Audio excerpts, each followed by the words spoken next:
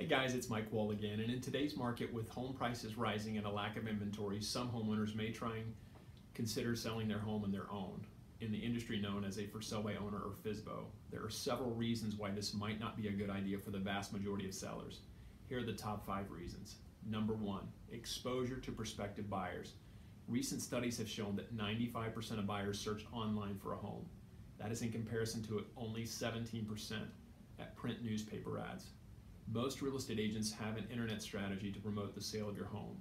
Number two, results come from the internet. Where did buyers find the home they actually purchased? 49% on the internet, 31% from a real estate agent, 7% from a yard sign, 1% from newspapers. The days of selling your house by just putting a sign and putting it in the paper are long gone. Having a strong internet strategy is crucial.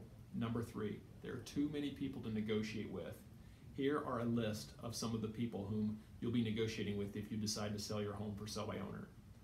The buyer who wants the best deal possible, the buyer's agent who solely represents the best interest of the buyer, the buyer's attorney in some parts of the country, the home inspection companies, which work for the buyer and will almost always find some problems with your house. Number four, FSBOing has become more and more difficult. The paperwork involved in selling and buying a home has increased dramatically as industry disclosures and regulations have become mandatory. This is one of the reasons that the percentage of people FSBOing has dropped from 19% to 8% over the last 20 plus years. Number five, you net more money when using an agent.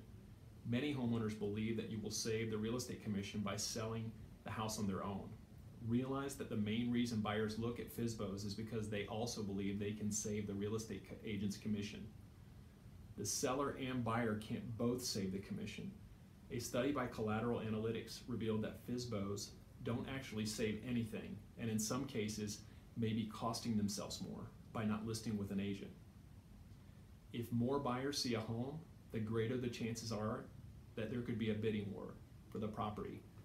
The study showed that the difference in price between comparable homes and the size and location is currently at an average of 6% this year.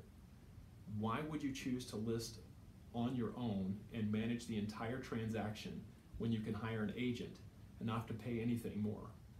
Bottom line, before you decide to take on the challenges of selling your house on your own, sit with a real estate professional in your marketplace and see what they have to offer. This is Mike Wall with Keller Williams. Thanks again for watching.